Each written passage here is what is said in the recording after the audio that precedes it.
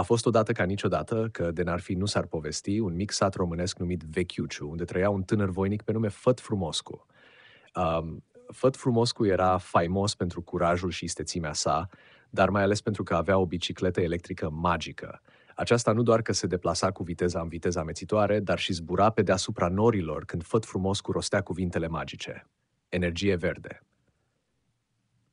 Într-o zi, pe când Făt Frumoscu se plimba pe bicicletă prin codri